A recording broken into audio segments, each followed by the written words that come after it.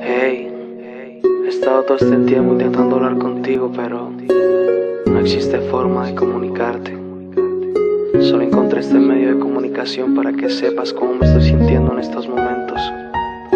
Esto no es fácil y no creo que pueda continuar. Aunque sea, escríbeme.